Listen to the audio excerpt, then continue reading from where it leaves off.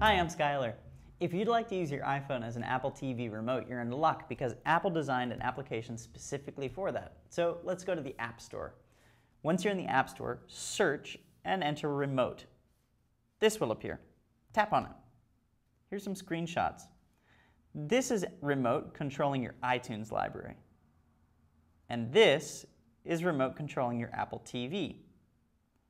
One of the cool things about using this application to control your Apple TV is that you can type on it. And that's a little bit faster than using the remote that came with it to click, click, click, click, click, and enter a word one letter at a time.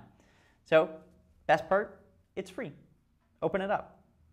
Once you open it, go to your Apple TV menus and turn on home sharing using your Apple ID. Once you do that, you'll see your Apple TV appear boop, right here. Tap on it, connect, and you're good to go. Thanks for watching. I'm Skylar.